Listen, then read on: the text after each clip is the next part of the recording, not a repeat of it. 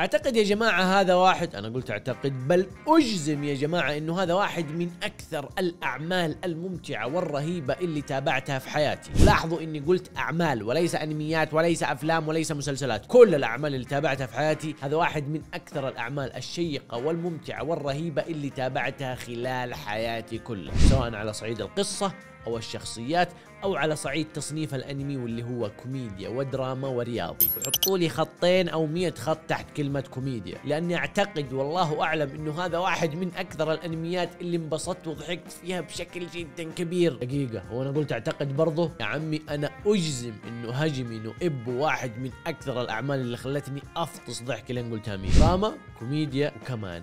رياضي. حتضحك حتشوف جانب درامي للشخصيات وجوانب درامية في القصة وحتشوف كمان حاجة رياضية وممتعة. ما تتكرر بسهولة إنك تشوف حاجة متكاملة من هذا التصنيف. آخر أنمي رياضي تابعته هنا في الابتدائي تقريبا أيام سلام دانك والرمية الملتهبة وكابتن ماجد وكابتن رابح وغيرها من الأنميات اللي كنا نشوفها على سبيستون وعلى قنوات الأطفال هذيك الأيام. okay كلها كانت ممتعة بطريقة ما ومن منظوري في هذاك العمر ولكن لما تشوف شيء بوعي مختلف وعندك عمق وإدراك أكثر للأشياء راح تكون المتعة أكبر وأعمق برضو في المقابل. فرحلتي مع إيبو يا جماعة أعتقد راح تظل واحدة من أجمل الرحلات وأمتع الرحلات. غير إنه هاجم إنه إبو يا جماعة يكاد يكون خالي من الخيال بنسبة 99% يعني حرفيا أنت جالس تتابع عمل رياضي متكامل على صعيد الأنظمة والقوانين. فيه اقتباسات لمشاهير وكبار في عالم رياضة الملاكمة. ومتى راح تستمتع بهذا الأنمي بشكل أكبر؟ إذا كنت من محبي رياضة الملاكمة. صدقني راح تنبسط وتنطرب وتتابع الأنمي حلقة حلقة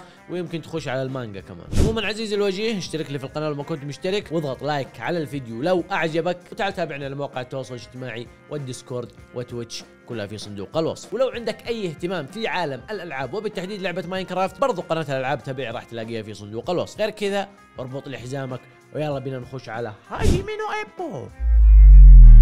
قصة الأنمي يا جماعة عن شخص اسمه إيبو إيبو هذا ولد في الثانوية حياته جدا بسيطة وما يبغى من الحياة أشياء كثيرة ابدا. يبغى يساعد أمه في تأجير القوارب تبع الصيد ويروح المدرسة ويرجع لا أكثر. حرفيا إنسان طبيعي جدا بمتطلبات وأحلام بسيطة وطبيعية جدا. ولكن يا جماعة ابو مرة لطيف ولاحظوا إني قلت مرة لطيف أو لطيف أكثر من اللازم لأنه لازم نعرف هذا الشيء. في شخصيات لطيفة وفي شخصيات لطيفة أكثر من اللازم. للأسف ابو لطيف أكثر من اللازم وهذا بالنسبة لي كانت حاجة مزعجة في بعض الأحيان. عموما يا جماعة ابو لأنه لطيف أكثر من اللازم صار عرضة للتنمر وكان فريسة سهلة للتنمر. ويوم من الأيام وأثناء تعرضه للتنمر يجي شخص اسمه تاكامورا حبيبي تاكامورا ويساعده من هذول المتنمرين. تاكامورا يا جماعة مو بس ساعد ابو انقذه وخلاص اوه تعال أنقذتك من هذول المتنمرين لا. تاكامورا كان الشخص اللي فتح عيون ابو على عالم جديد ورحلة جديدة في حياته ما كان يتوقع إنه ممكن يخوضها. موقف بسيط لحظة بسيطة حصلت لإبو غيرت حياته ودخلته في مجال جدا مختلف. بعيد عن قوارب الصيد بعيد عن الأشياء اللي كان مهتم فيها تماما. تاكامورا خلاه يكتشف موهبة مدفونة عنده متخبية داخل جيناته. دخله إلى عالم الملاكمة من أوسع أبوابه. وللأمانة البداية تبع القصة أو المدخل للقصة هذا اللي أنا ذكرته لكم يا جماعة ذكرني بمقولة جدا جدا رهيبة وهي إنه ما راح تعرف حبك للشيء وقدرتك للإبداع فيه إلا لما تجربه. كلنا قاعدين نشوف الناس يلاكموا. كلنا قاعدين نشوف الناس يسووا أشياء كثيرة. هل جربنا نجرب هذه الأشياء؟ ممكن نطلع مبدعين فيها. فلذلك إيش؟ جربوا الأشياء يا جماعة ما تعرفون إيش الشيء المبدعين فيه. لأنه هذا بالضبط اللي حصل مع إيبو خاض تجربة جديدة بالرغم من إنه كان يشوفها بس لما جربها بنفسه وقع في حبها بشكل جدا جنوني وصار مستعد يفني حياته كلها في سبيل رياضة الملاكمة. تصنيف الأنمي مثل ما قلنا رياضي دراما وكوميديا. وقدر هذا الأنمي يا جماعة إنه يحصل على تقييمات جدا جدا عالية في أشهر المواقع. على سبيل المثال تقييمه في موقع IMDb 8.8 من 10 which is تقييم جدا عالي. ومصنف في المرتبة 39 في موقع My انمي ليست في قائمة أفضل الأنميات. يب في المرتبة 39 فمن ناحية التقييمات يا جماعة والمراجعات الأنمي هذا ما عليه أي خلاف ما شاء الله تبارك الله. وبالرغم من إنه الأنمي استمر إلى ثلاثة مواسم بإجمالي حوالي 75 أو 76 حلقة بالإضافة إلى مجموعة أفلام إلا انه المانجا إلى يومنا هذا ما زالت مستمرة ويفترض إنه استمرارها إشارة لشنو؟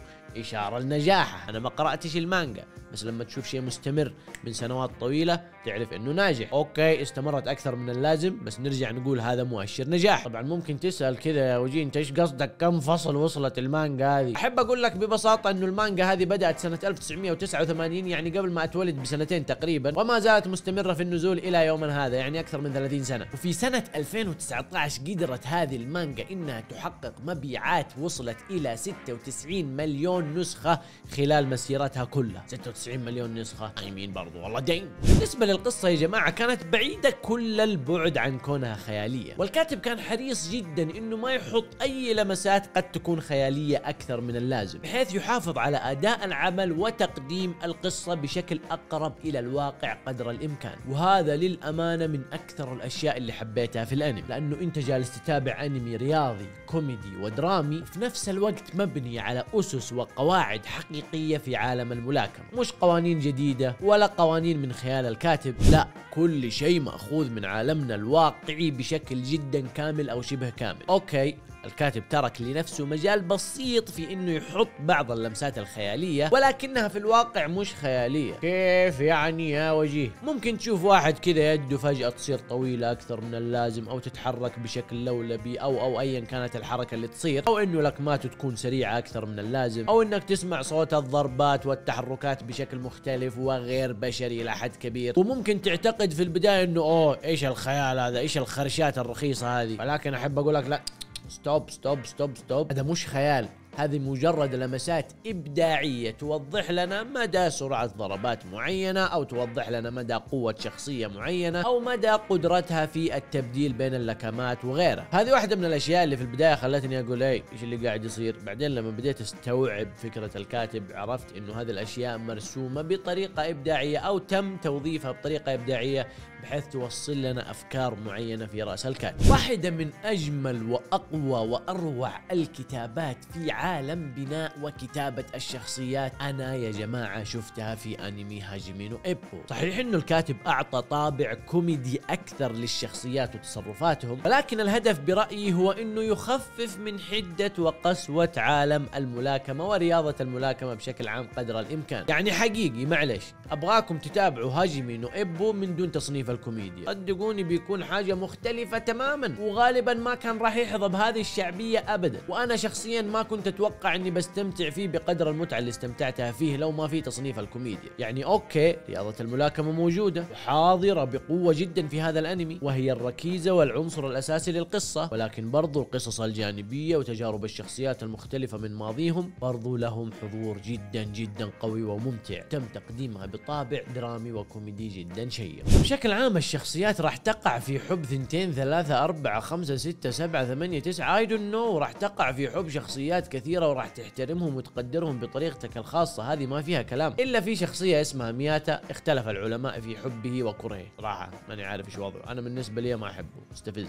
هو إيبو. حتى إيبو مستفز أحيانا. غير كذا يا جماعة بغض النظر عن الأنمي بغض النظر عن الشخصيات اللي كل واحدة منهم تجبرك إنك تحبها أو تقع في حبها بغض النظر عن الكوميديا الممتعة والرهيبة واللي راح تخليك تفطس ضحك في مواقف كثيرة. الأنمي يا جماعة هذا يعتبر درس مفصل لكل شيء في عالم الملاكمة. تبغى تتعلم عن رياضة الملاكمة؟ وما فيك حيل تقرأ أو تبحث بسيطة الحل عندي. تابع أنمي Hajime no Ippo. صدقني راح تعرف كل شيء تقريبا عن قواعد رياضة الملاكمة عن طرق وأساليب التدريب والحمية الغذائية القاسية جدا في بعض الأحيان عن الأوزان المختلفة والبطولات لكل وزن معين عن أنواع الضربات وطرق الدفاع والهجوم عن عدد الجولات وإيش الممنوع وإيش الما هو ممنوع إيش الأخلاقي وإيش الغير أخلاقي. حرفيا يا جماعة هذا الأنمي راح يدخلكم إلى عالم الملاكمة من أوسع أبوابه. يا عمي أنا بعد ما تابعت 10 حلقات أو 15 حلقة من الأنمي كنت ناوي أجيب لك كيس ملاكمة هنا عندي في الغرفة. ولكن طلع الموضوع ملغوص ويبغى له مساحة ويبغى له مسامير وشغل كثير ومكلف كمان. بس حقيقي اللي بوصله لكم إني تحمست مع الأنمي بشكل جدا جدا رهيب من التفاصيل والمعرفة الرهيبة اللي أخذتها منه عن عالم الملاكمة. ختاما يا جماعة الأنمي أكيد ما هو مثالي وفيه عيوب بلا شك. فيه تمطيطات في بعض القتالات في قتالات ما لها أي 66 لازمة. يعني كان بإمكانهم ينهوها في حلقة أو حلقتين واستمرت لخمس حلقات على سبيل المثال. بس في الجانب الآخر في مشاهد أو مباريات قتالية جدا جدا رهيبة وممتعة. راح تشجع بكل قلبك وراح تتحمس بكل ما تحمله كلمة حماس من معنى. في مباريات رائعة رائعة وممتعة جدا سواء من ناحية القتال أو كتابة القتال أو تصميم القتال نفسه أو الحركات القتالية والأساليب اللي يستخدموها في القتال هذا. وبكل حال مثل ما قلت لكم يا جماعة لا تتوقعوا أنه متعة بالنسبة لي كانت في الملاكمة. لا الملاكمة هي حاجة أساسية. أي نعم ولها حضورها بس برضو في أشياء ثانية أنا استمتعت فيها في الأنمي. قصص الجانبية للشخصيات وعمقها. يب الشخصيات في شخصيات جدا عميقة في هذا الأنمي. تفاصيل دقيقة في الشخصيات وفي ماضيها جدا جدا رهيبة وراح تبهرك غير شطحات الفريق غير رحلاتهم اللي خارج عالم الملاكمة. كانت حاجة جدا جدا ممتعة واستمتعت فيها. غير رياضة الملاكمة.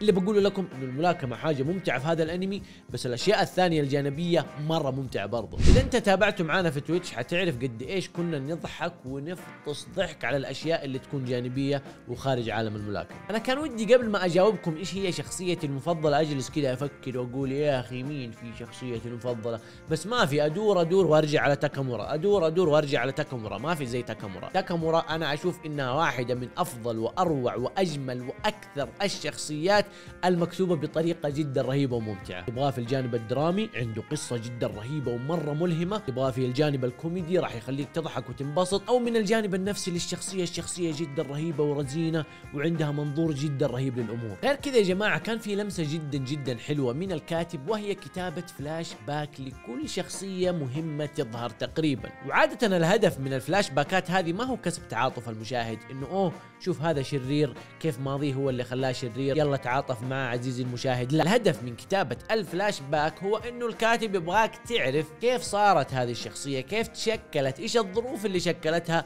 وخلتها تظهر بهذا الشكل؟ تعاطفت معاها ما تعاطفت معاها الموضوع راجع لك طيب للأمانة Hajime no Ippo واحد من أكثر الأنميات الممتعة فعلا اللي أخذتني في رحلة ما راح أنساها ابدا. والحمد لله انه ردود أفعالي محفوظة على هذا الأنمي موجودة في التليجرام. يب تليجرام فيه كل الأنميات تقريبا. اللي تابعناها ما عدا هنتر. آه يا قلبي عليك يا هنتر حزين عليه إنه ما سجلت البثوث تبعه. ختاما يا جماعة Hajime no Ippo أنمي رياضي درامي كوميدي جدا ممتع وأتمنى إذا أنتم ما تابعتوه إنكم تعطوه فرصة لأنه فعلا راح يكون تجربة جدا مختلفة. وتقييمي الشخصي له هو تسعة من عشرة. يعطيكم العافية يا جماعة. لا تنسوا الضغط على زر ال like لو عجبكم الفيديو لأنه أكثر شيء ممكن تدعموا فيها القناة. اشتركوا في القناة لو ما كنتم مشتركين وفعلوا الجرس على طريقكم. تعالوا تابعونا على مواقع التواصل الاجتماعي والديسكورد وتويتش كلها موجوده في صندوق الوصف. ولو عندكم أي اهتمام في عالم الألعاب برضو قناة الألعاب موجودة في صندوق الوصف. كان معكم الوجيه نشوفكم في الفيديو القادم.